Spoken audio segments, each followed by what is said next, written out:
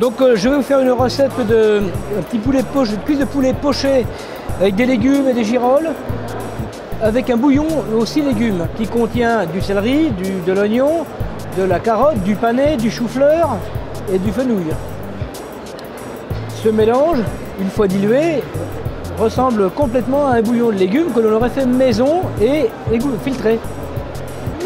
Donc des légumes surgelés, qui eux sont un petit peu appauvris en goût. Ils vont juste apporter le marquant.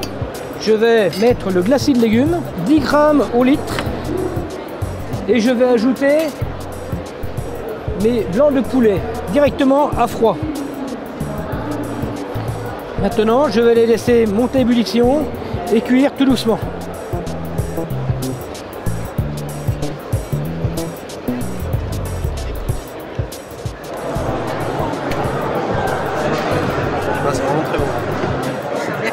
90% de jus concentré de légumes. Voilà. Je dois avouer que ça, c'est fantastique.